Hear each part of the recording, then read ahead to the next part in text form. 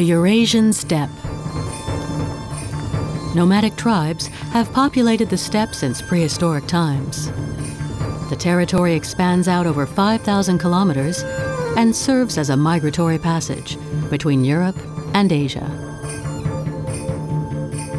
It stretches out between ice cold oceans to its north and arid desert to its south, ending at the Altai Mountains.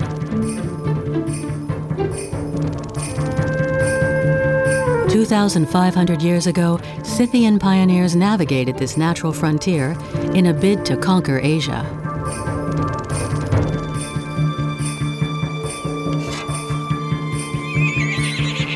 Not much is known about this mysterious group of people who inhabited the steppe.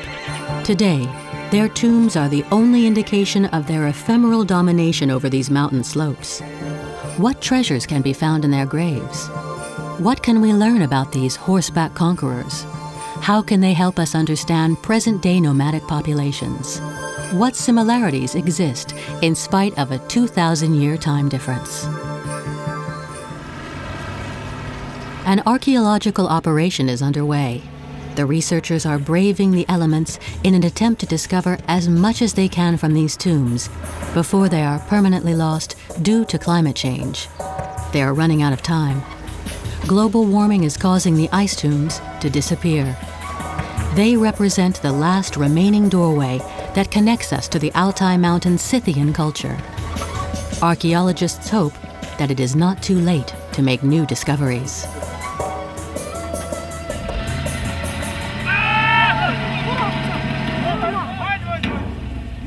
The road that leads to the excavation site is very long. The site is located in the extreme west of Mongolia, one of the most isolated regions of the world. It takes five days for us to get from Ulaanbaatar, the capital of Mongolia, to the Sirgal Valley, 2,300 meters above sea level. Extreme weather conditions in the region mean that access is only possible in summer. The project will last for six weeks, and the team will be completely cut off from the world. Pierre-Henri Giscard, from the Institute of Deserts and Steppes, is leading this Franco-Mongol expedition, alongside Tsagaan Turbat from the Institute of Archaeology in the Mongolian Academy of Sciences. Their goal is to shed new light on the culture and civilization of the Oriental Scythians. Scythian civilization encompassed several groups that expanded over the Eurasian steppe from the 7th to the 3rd century BC. They each had their own culture and characteristics and were independent of each other, yet similar enough to be grouped together as Scythians. Anthropologically speaking, they were Caucasian, but they weren't what we would define as white. They spoke Iranian and many other languages. We do not know how they identified themselves because the source of information of Scythian origin is limited. They didn't read or write and were therefore unable to know how the different groups defined each other. The Scythian groups interacted with their neighboring sedentary civilizations, ancient Greece and the Achaemenid Persian Empire. Different cultures existed within the Scythian groups. Most of our knowledge about the Scythian culture concerns the royal Scythians, who lived north of the Black Sea. In around 400 BC, ancient Greek historian Herodotus gave a detailed description of their existence. However, we don't have much information about the eastern Scythians who lived on the other side of this expansive territory. The Siberian and Mongolian Scythian populations in the Altai region were also referred to as the Pazyryks, as it is the name of the main site that has been excavated. Many items have been found and everything has been extremely well preserved. However, not much is known about the owners of these objects. The archaeologists have selected two tombs to excavate. They contain an abundance of relics, and the team is hoping to discover ritual objects and bodies in an exceptional state of preservation. The stakes are high. They want to lift the veil on this unknown civilization that was established in the Altai region between 500 and 300 BC. The surface is intact. It doesn't look like the tomb has been raided. They now need to establish if there's any ice inside the chamber, if it is intact. This depends on the altitude. We're about 2,004 meters above sea level, so that helps, but it also depends on the depth. The soil here is compact and they weren't able to dig any deeper. We're not sure if they'll be able to dig more than three meters into the earth.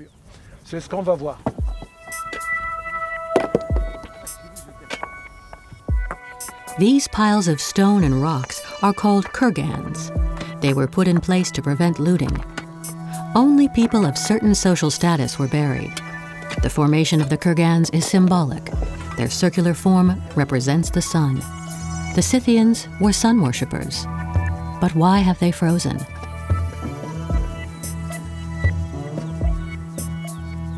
In summer, rainwater penetrates the piles of rocks and seeps into the ground. During permafrost conditions, the temperature falls below zero, and this water turns to ice.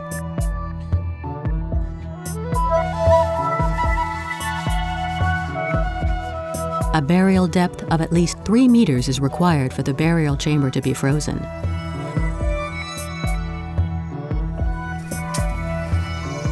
The rock piles act as a heat shield.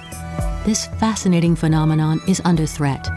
If a tomb thaws, even for a short period of time, it triggers an irreversible decomposition of the surrounding organic matter.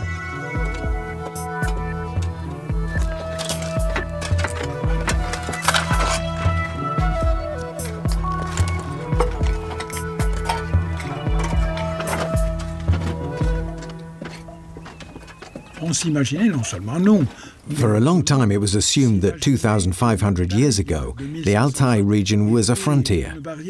Not in a physical sense. The mountains reach up to 3,000 to 3,500 meters above sea level and can be navigated during the summer period.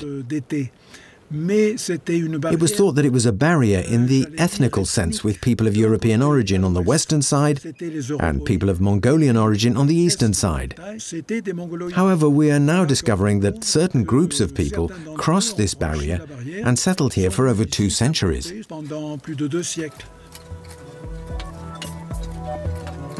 The mission is taking place far off the beaten track, and this makes it impossible to use mechanical diggers. Everything is done manually. However, the archaeologists are progressing rapidly because the soil that sits above the permafrost crumbles easily. How deep is it at the deepest point over there? Two meters. Two meters.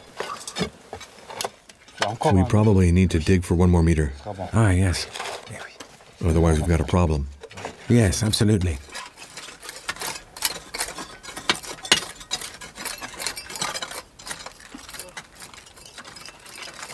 What's this? What's this? Bone? It's completely straight. It's amazing. This is the first time in Mongolia, in the Pazyryk tombs, that we have found a group of slaughtered horses in one grave.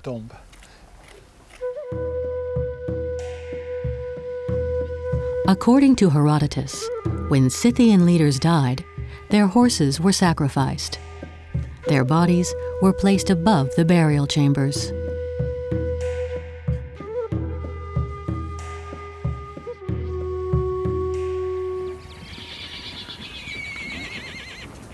The Scythians worshipped horses. It was here in this steppe, 4,000 years ago, that horses were domesticated for the first time. The Scythians rode without stirrups or saddles, this control gave them a significant advantage over their enemies. They launched attacks at full gallop and were able to shoot arrows with tremendous efficiency. Their horses were their companions for life, and when they died, they followed them to their final resting place. The number of horses that were sacrificed depended on the social status of the deceased. They sacrificed old or injured horses that were useless to the community.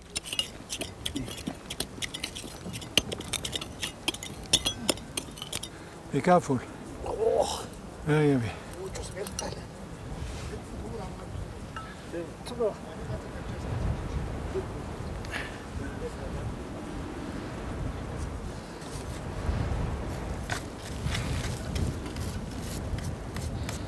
This is its mandible. It had beautiful teeth. It was an adult horse.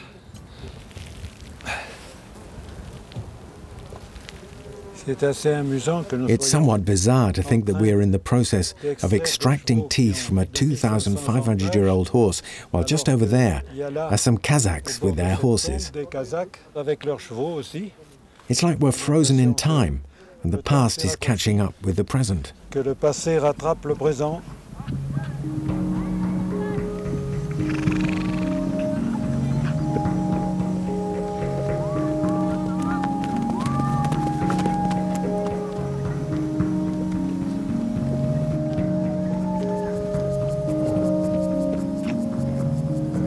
A nomadic family has settled near the burial area. The Kazakhs mainly populate western Mongolia. They found refuge here in the 19th century after the Tsar armies annexed Kazakhstan. They have followed the same migration paths that the Pazyryks took through the Altai Mountains, and they follow a very traditional lifestyle. Are these two cultures that live 2,500 years apart inextricably linked? This is an important issue for researchers, as this connection could enable them to validate their archaeological assumptions. An ethnological study could help elucidate their archaeological research.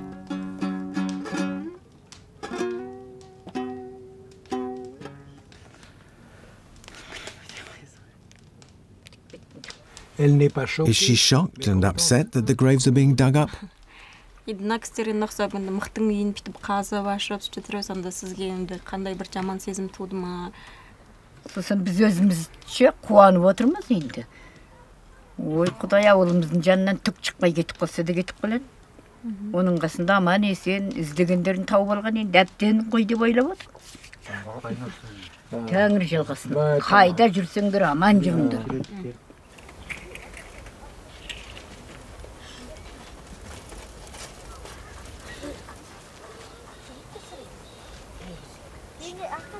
Christophe Moulherat, an archaeological leather and textile expert from the Quai Branly Museum, joined the project to study Kazakh technical craft and to make comparisons with the artifacts found in the tombs. He's softening it. This technique dates back over the centuries and is still used today. His father told him how to do it. The skin has been cut into strips and then softened in a mixture of water and then yogurt.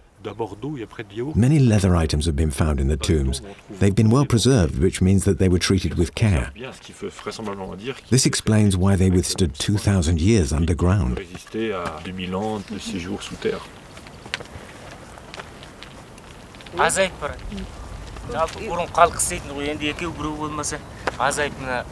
осындай нәрселер қайдан тауып алады өздері сатып дайын сатып жоқ дайын ала салады енді қытайдың жібі мәтікі жатқы деген сияқты мынандай қайсысы деген елді қобыртып кетті ғой Cette province ici, This area is like a cultural academy. c'est-à-dire on a, euh, c'est le seul endroit dans It's le the monde only où place in the conserve world where la authentic culture Kazakh culture authentique remains. Mais But how combien long de will temps it ça va last?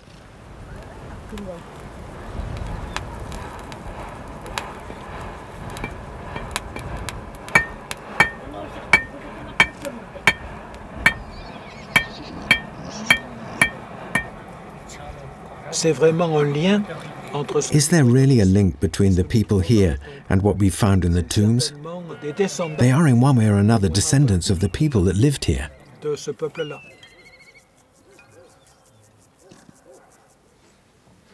Ah, très belle pièce, This is great. It's intact. Le mort articulé. This snaffle bit is in a good condition. Il peut être restauré. It can be restored. The joint is typical of Scythian craft. du mort des sites We can see that it was struck between the eyes. entre les deux yeux. On peut s'imaginer le carnage qui a eu lieu. This seems to suggest that the horse was taken alive. Les vivants ont été massacrés It appears to have been killed by a blow to the forehead. dans le front. Je pense que c'est I'm sure that it was one of the most solemn moments of the funeral.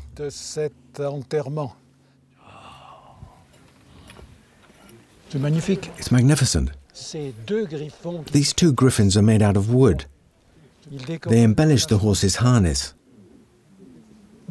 Wood rots in humid atmosphere, but this has been preserved in a dry environment. Là, dans une ambiance très sèche. This rare wood sculpture has lasted for over 2,500 years.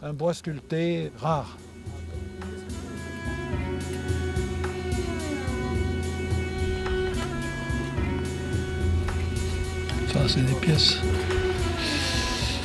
Des pièces qu'on verra. These are the kinds of items that we see in books. Si on le laissait comme ça. If this was to be left in the sun for a few hours, it would be destroyed. Donc on va les humidifier, We're going to dampen it, wrap it in special packaging, and fly it to Paris. et les amener par avion à Paris. These objects will be restored in France, then returned to the Institute of Archaeology in the Mongolian Academy of Sciences, and then exhibited in the National Museum of Mongolia. Eastern Scythian art is very refined, as shown by these lilies that adorn the horse harness, or these griffins, legendary creatures represented by an eagle's body on a lion's back with horse ears and a serpent's tail. The resonance with Greek and Persian mythology confirms the cultural links with the Scythians that settled here, despite the prejudices against them. Non nomadic people have long considered nomads to be barbarous, uncivilized, and stuck in the past. This image is based on the notion of deficiency. Nomadic people do not have houses, they do not have fields, they do not have cities. They are often considered to be predators, lurking on the edges of a civilization that has all of these things. In reality, 20th century archaeological research has revealed that this isn't quite the case. Une image tout à fait différente de population It seems that at the beginning of 1000 BC, certain sedentary populations gave up their fixed habitat and farmland in order to engage in extensive agriculture and to make the most of the opportunities offered by the expansive steppe terrain. en exploitant au mieux les possibilités qu'offrait le milieu steppique thank you